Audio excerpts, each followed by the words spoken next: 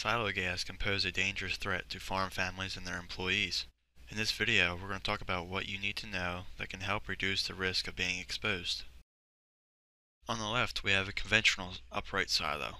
This silo is unloaded from the top by an unloading system that is suspended from the peak. As the silage level gets lower, an individual is required to enter the silo and adjust the unloading system as needed. This makes this silo especially dangerous because it increases the risk of a person being exposed to the gas. On the right we have an oxygen limiting silo. It's also an upright silo, however this one's unloaded from the bottom. It should never be entered because of the limited oxygen supply. So what is silo gas? It's also referred to as NO2 or nitrogen dioxide. It's a natural byproduct of forage fermentation and can appear in high concentrations as a red, brown, and yellowish haze.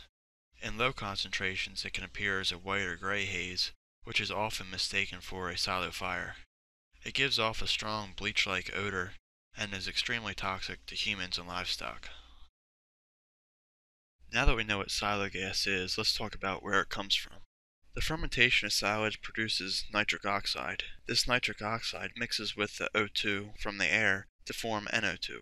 This gas formation peaks within 2 to 4 days, but the gas can linger in the silo if it's not exhausted or vented.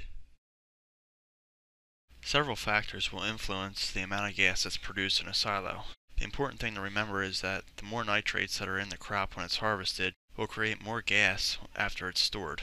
Other influencing factors include the amount and type of fertilizer that's used, and of course the crop season, especially the weather, such as droughts followed by heavy rain before harvest, along with wet and cool temperatures during growing season. Some things to keep in mind when dealing with silo gas is that it's extremely toxic and poses a great health hazard. The first week after filling a silo is the most dangerous, and silo gas is heavier than air, so that means that it will sink. Typically, it's found at the silage surface or at the bottom of a feed chute, where it can accumulate into a feed room, causing extremely dangerous conditions to employees or livestock that may be in the area.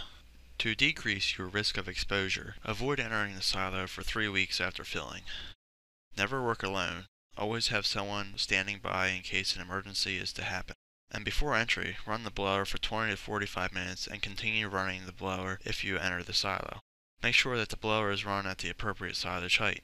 Some blowers are only effective in 15 feet of headspace, which means if the distance between the silo's surface and the top of the silo where the fill pipe enters is greater than 15 feet, it may not be effective. If you're trained and it's available, use an SCBA or self-contained breathing apparatus and gas monitoring equipment. On the left is what a typical gas meter may look like. If using a gas meter, make sure that it is capable of monitoring nitrogen dioxide. On the right is a chart that indicates the effects nitrogen dioxide has at particular parts per million.